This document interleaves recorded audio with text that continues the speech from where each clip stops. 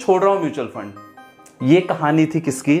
गोपाल। ऐसा एग्ज़ाम्पल किसी यूट्यूब कहीं चैनल में आपको नहीं मिलने वाला। मैं आपको क्लियर बता दे रहा हूँ। तो ये चलिए ज़रूर देखो क्योंकि अगर आपने ये समझ लिया ना तो म्यूचुअल फंड का पूरा सारांश आप समझ जाओ। बन गया।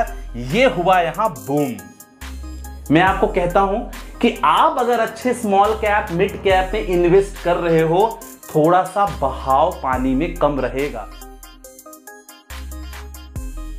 म्यूचुअल फंड में एक लाख रुपए डालना था तो तीन दोस्तों की बातें सुनो कि तीन दोस्त आपस में क्या बात करते हैं, क्योंकि तीनों लोग का मन था कि भाई साहब मैं एक लाख रुपए इन्वेस्ट कर दूँ और एक लाख इन्वेस्ट करके छोड़ दूँ। तो तीनों की कहानी सुनो अलग अलग फंड में इन्वेस्ट करेंगे। तो एक उनका बंदा बहुत स्मार्ट था एनालिस्ट था थोड़ा उनका दोस्त, वो ऐसे बात करता है okay i know that uh, i have to invest you know uh, i believe that you know uh, i have to invest in the indian economy and after long time i'll get the, these funds so better i'll i'll spend maximum uh, you know my investment in index fund only मतलब साहब वो कह रहा है कि सब मैं केवल इंडेक्स फंड में इन्वेस्ट करूँगा दूसरा वाला क्या बोलता है दूसरा वाला बोलता है देखो यार मुझे ज़्यादा आइडिया तो नहीं है, लेकिन मैं ना थोड़ा सा ना, मुझे डर लगता है यार। मैं थोड़ा सा ना लार्ज कैप कंपनी जो होती है ना, मैं उसमें इन्वेस्ट करूँगा और थोड़ा थोड़ा मैं इंडेक्स फंड में इन्वेस्ट करूँगा। सुना है म्यूचुअल फंड में डर लगता है लॉन्ग टर्म में पैसे गड़बड़ हो जाते हैं। बहुत सारे लोगों ने बहुत सारा लॉस किया है।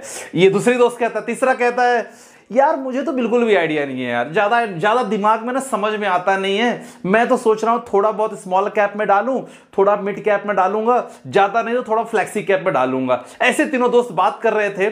तो तीनों दोस्त बात करने का वहाँ के लोग जो गुजर रहे थे तो उन लोगों ने उनको क्या राय दी? देखो, उन्होंने राय दी कि भाई साहब स्मॉल कैप में पैसा डालोगे तो डूब जाएँगे।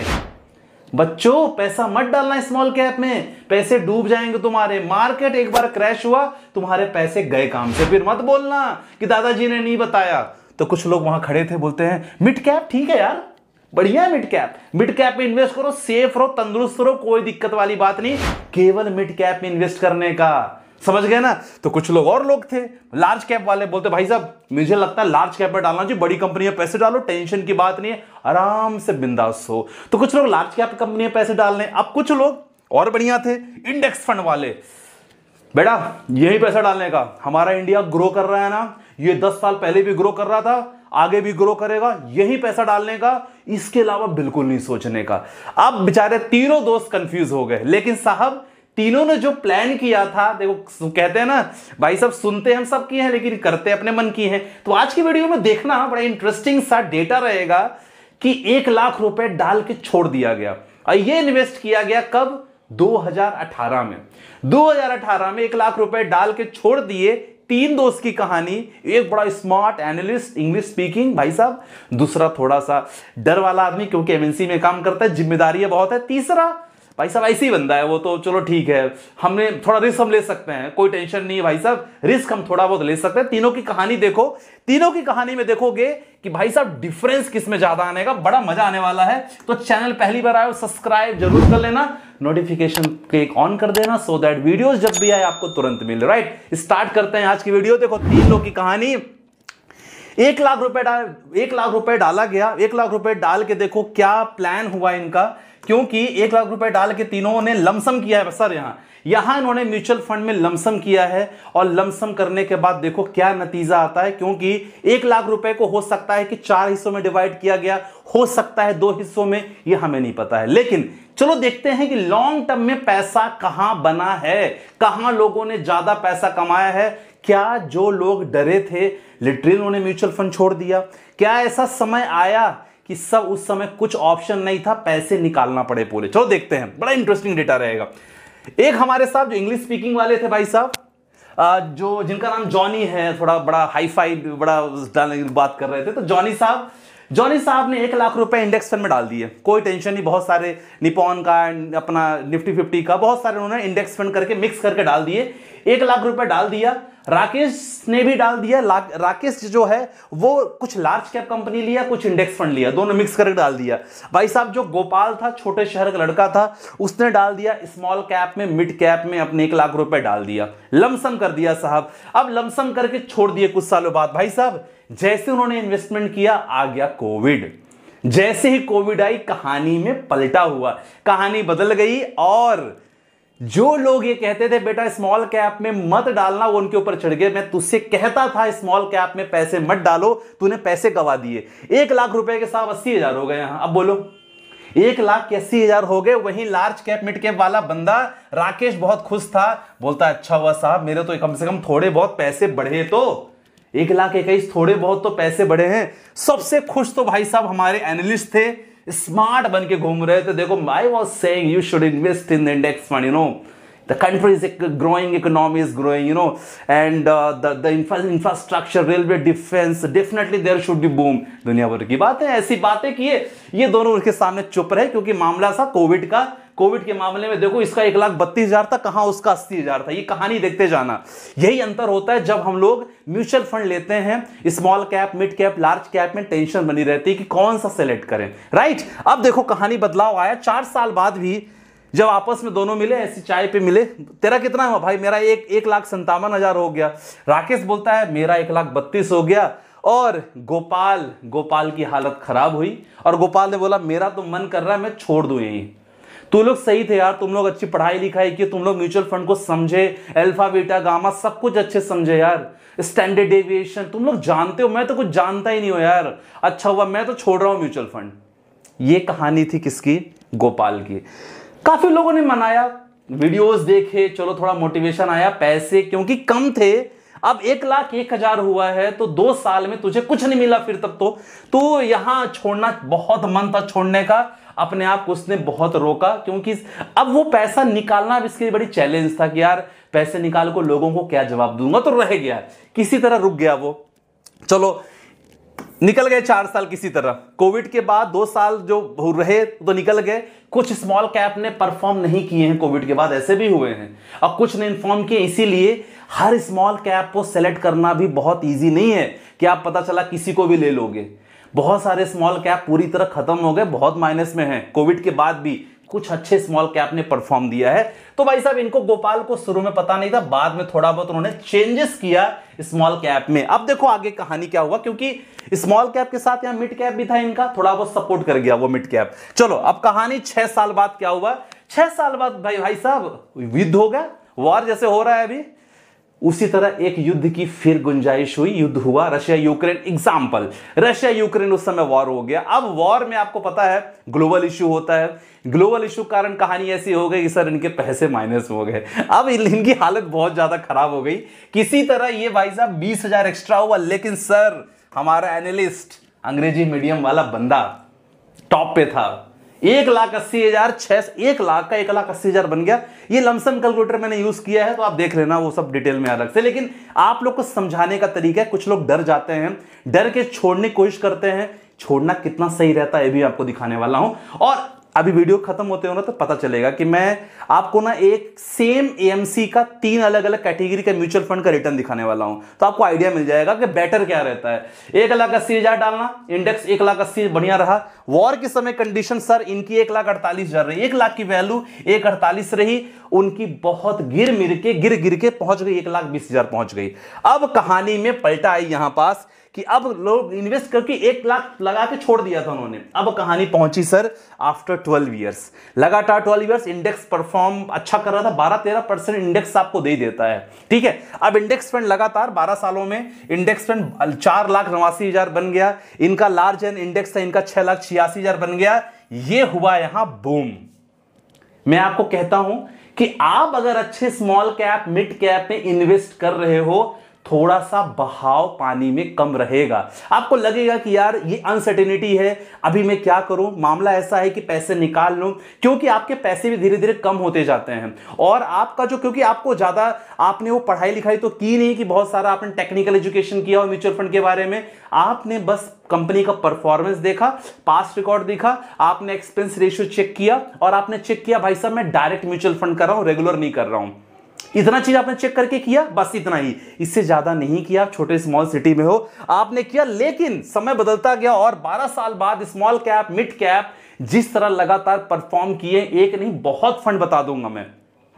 बहुत सारे फंड ने लगातार परफॉर्म किए हैं। सर इनकी वैल्यू हो गई है लगभग दस लाख अंठावन हज़ार की वैल्यू पहुँच गई बारह साल बाद और ये कहानी चार लाख नवासी पहुँचे, छह पहुँच गए, दस पहुँचे। पंद्रह साल बाद छह लाख पचासी हज़ार इनकी वैल्यू हो गई, सात, चौदह। साहब, ये यहाँ से देखो, यहाँ से तो इनके पंख लग गए हैं। मैं आप लोगों को क्यों कहता हूँ? मैं आपसे हमेशा रिक्वेस्ट करता हूँ कि अगर आपने स्मॉल कैप मिड कैप की क्वांटिटी ज़्यादा ली है सर वेट करो। डरो नहीं वेट करो, मैं हमेशा कहता हूँ। कुछ लोग कमेंट सेक्शन में कह रहे थे, सर, आप डराते हो। भाई साहब, आपने मेरी ये वीडियो तब तो नहीं देखी होगी कि मैं आप लोगों को मोटिवेट भी करता हूँ। मैं आपको हमेशा मना करता हूँ क्विट मत करना, मत छोड़ना, कुछ भी करके डटे रहना मार्केट गिरे तो और लमसम करो। मार्केट गिरे तो और अच्छे शेयर खरीदो। मैं हम लोगों से ये कहता हूँ, ये नहीं कहता। अब देखो मार्केट की अपडेट तो आपको देनी पड़ेगी मार्केट में क्या हुआ। अब इनकी वैल्यू पहुँच गई, लगभग देखो 12 लाख पहुँच गई। आज वो एक लाख उन्होंने लगा के छोड़ दिया था, एक स्मॉल कैप एक मिड कैप में। आफ्टर फ्यू ईयर्स 20 साल बाद कहानी देखो। भाई साहब, जो केवल, जो ध्यान देना मेरी बात, जो केवल इंडेक्स फंड में इन्वेस्ट किए थे, वो पहुँच पाए 12 lakh. Large and index fund 16 lakh, जो भैया स्मॉल कैप, मिड कैप में छोड़ दिया था एक लाख रुपए, आफ्टर 20 इयर्स उस वैल्यू हो गई है लगभग 27 लाख। 17 18 परसेंट का रिटर्न मैंने यहाँ लिया है, जो म्यूचुअल फंड ने दिया है। कोई ऐसे छोटी वाली बात नहीं है कि नहीं है। कुछ लोग कहते हैं कि उस समय की वैल्यू क्या होगी, सर? सर, अगर एफडी में इन्वेस्ट किए ना तो कहीं के नहीं रह जाओगे आप। कहीं के नहीं रह जाओगे, आपकी एफडी माइनस की माइनस पहुँच जाएगी। छह परसेंट तो महँगाई है।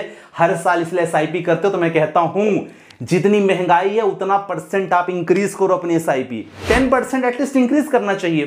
तो मोरल ऑफ़ द स्टोरी अगर जिन्होंने अब तक वीडियो देखी है, सर आपको सलाम। कमेंट सेक्शन में मेंशन करना कि, सर, यहाँ तक मैंने वीडियो ज़रूर देख ली है। और क्या सीखने को मिला?